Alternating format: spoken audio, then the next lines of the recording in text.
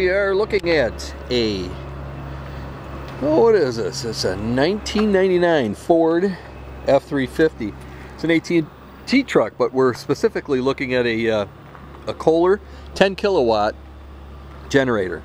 It is a retrofitted marine generator that they've Kohler has put in these uh, AT&T trucks. It is an awesome machine. Four cylinder and it's a liquid cooled exhaust comes out here and then the radiator blows forward through this grate as you can see and the exhaust is cooled and it blows out and people don't have an issue with that in the truck.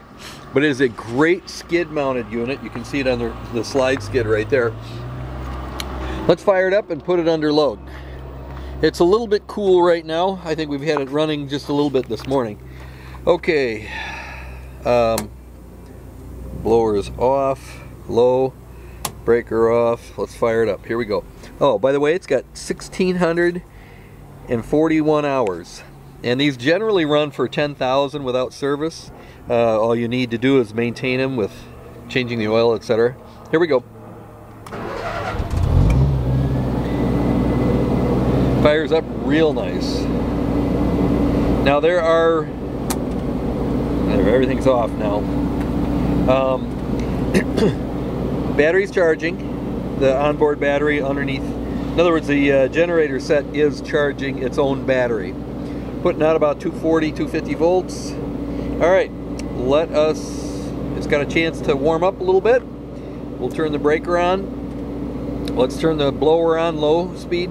That's this blower for the air for a manhole. You've seen these yellow pipes go in the manhole. Well, here's the blower for it. Here we go. As it settles down it surges just a little bit and then we'll go to that was low speed now we go to high speed. It's not drawing many amps it, only the initial surge. But when we turn these 3000 watt heat boosts on that'll be a total of 6000 watts if they work uh, then we're gonna really be pushing it. Okay here we go. Yep. You can see the uh, amp draw right there.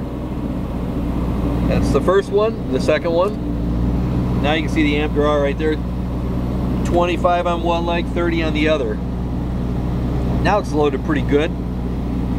It's still a little cold, it's surging around a little bit. All right, here we go. We're gonna there we go. The compressors are on. Now we're giving it full load. They aren't gonna run for long, but full load, you got 35 amps here, about 30 amps there. Pulling good. 1641 hours. All right, now we're gonna shut it down. Shut off the dryer, shut off the compressors. Only one compressor's on. And then uh, now the heat boost. There's one, there's two.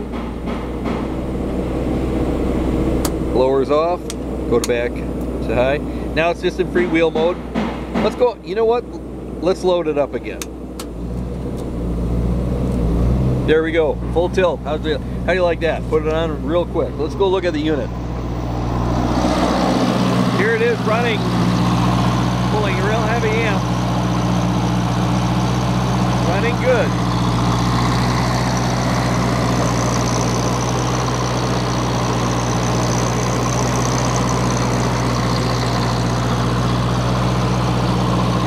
These are really good machines. Many of our customers take them and they'll uh, use them for external power on their house or backup power and convert them to propane or natural gas. And we can help you find the, uh, the kit for that. There's a website for that. Well, all right, let's shut it down. There we go. Now it's totally freewheeling, still charging the battery nice. Now we shut it down. Let's use this part of the remote.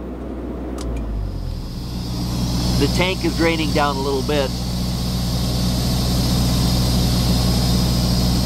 got about 80, 90 PSI in it right now. This is kind of a neat little setup.